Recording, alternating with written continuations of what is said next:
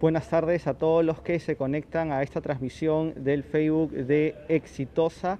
Estamos en el interior del Aeropuerto Internacional Jorge Chávez, como sabrán, es el segundo día desde que se reiniciaron los vuelos eh, nacionales aquí y se han adoptado nuevas medidas eh, de eh, bioseguridad, protocolos sanitarios para aquellos que han llegado alguna vez al Aeropuerto Internacional Jorge Chávez y han abordado un vuelo, eh, notarán que todo esto es algo nuevo aquí, desde medir la temperatura al ingreso, que se hace de forma digital con estas cámaras que usted está, apreciando, eh, en caso de una persona llegue con equipaje, la desinfección del mismo equipaje solamente al ingreso mismo del aeropuerto. Nos encontramos en estos momentos por el ingreso 9 de eh, las salas de todo lo que es el trámite necesario para abordar y bueno, eh, como usted puede apreciar, hay una señora que tiene todo este protocolo, este sistema de bioseguridad. Hay esta pantalla donde la persona que ingresa puede visualizar en tiempo real eh, la temperatura. Por ejemplo, aquí hay una señora que ha marcado 36.5 grados eh, centígrados, que es lo permitido, está en verde. Entiendo que si, si digamos una temperatura elevada, esto aparecería en rojo y es lo que se está desarrollando aquí. Justamente yo me encuentro con eh, la gerente de sostenibilidad del Lab, eh, con quien vamos a conversar. Bienvenida al, Facebook Live Exitosa. Eh, son aspectos para el viajero indiscutiblemente nuevos que no se había hecho antes y que bueno, imagino que hay ya una lectura del comportamiento de los mismos en este segundo día de reinicio de vuelos. Sí, efectivamente. ¿Cómo están? Buenas tardes.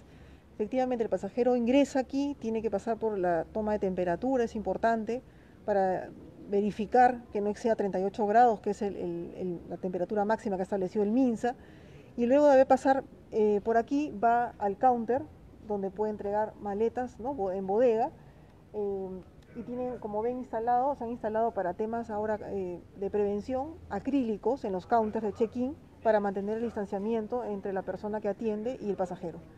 Entonces, como ven, también hay señalética en el piso instalada, para mantener el licenciamiento si, se hace alguna fila, digamos, en, este proceso.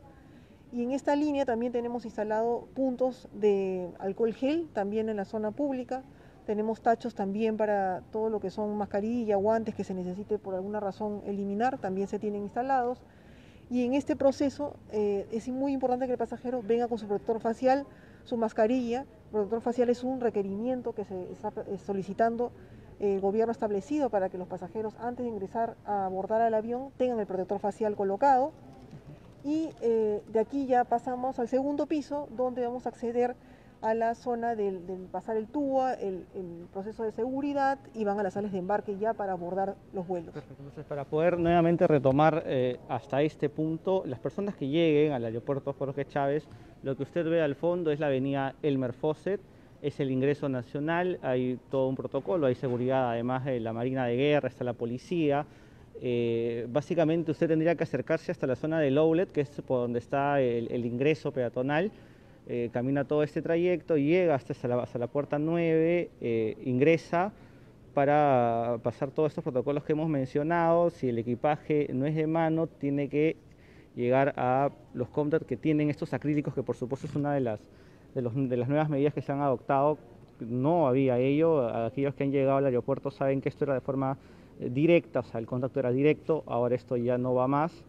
Eh, hay un tema también que, bueno, eh, entiendo que también hay un distanciamiento o, todos están habilitados para, para, poder atender.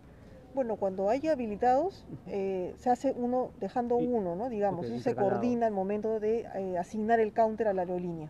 Entiendo. Bueno, entonces luego creo que se va al segundo piso, eh, que es donde se... Al segundo piso para realizar, el, como le mencionaba, pasar a la zona de seguridad.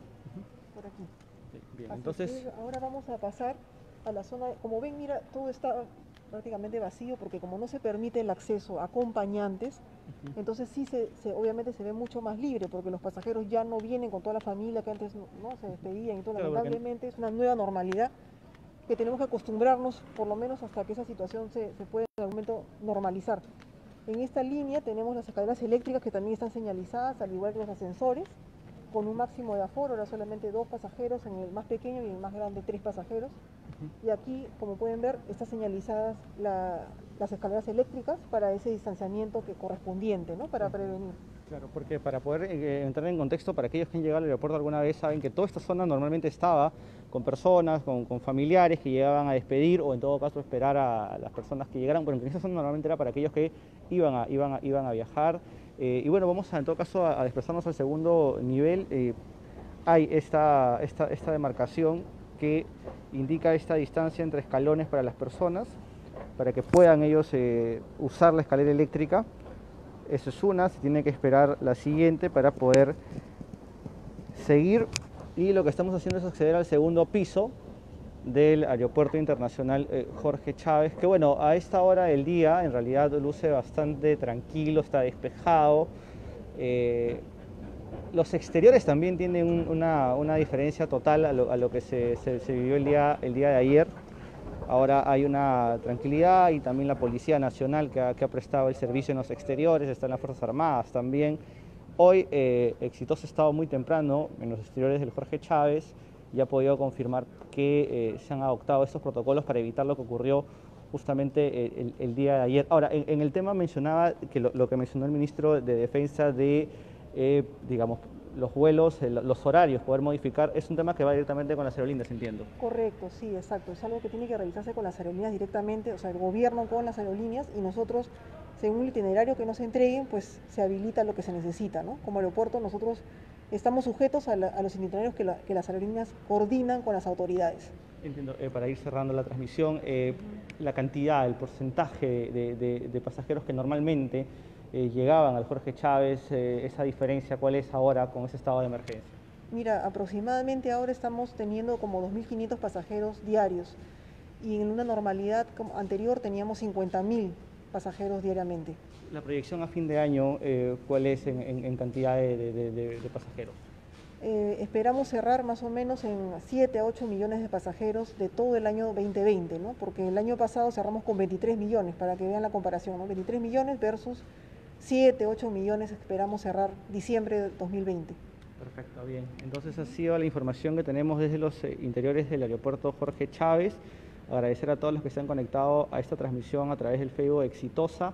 Hay nuevas medidas, hay una nueva normalidad eh, eh, indiscutiblemente que se tiene que, adoptar.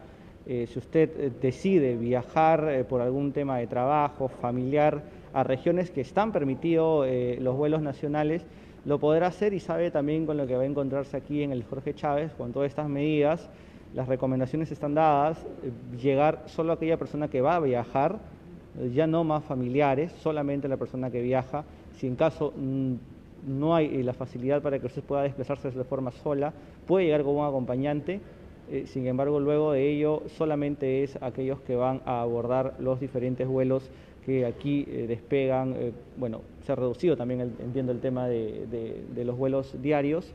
Y bueno, ya sabe, siga pendiente de las redes de Exitosa a través de todas las plataformas de radio, televisión y web para más información. Bueno, nos, consultan sobre los vuelos internacionales, en realidad es un tema del gobierno, son ellos los que tienen que...